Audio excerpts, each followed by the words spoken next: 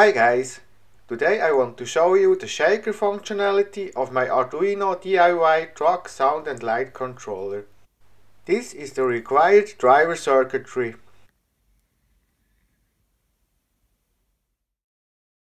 The strength of the vibrations can be adjusted in the sketch using these three variables.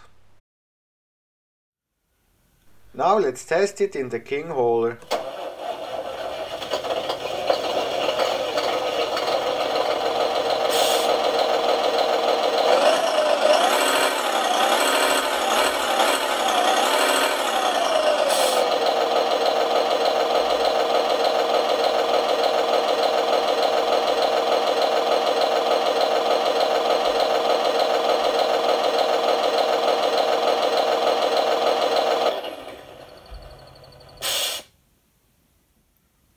It's still a mess inside.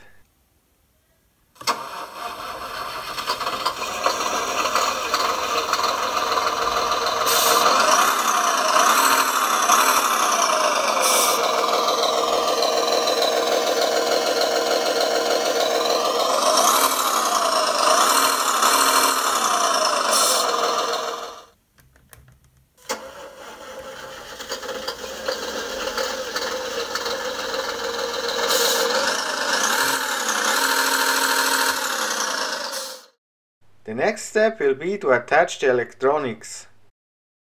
If you like this video, hit the subscribe button and turn on notifications. Bye!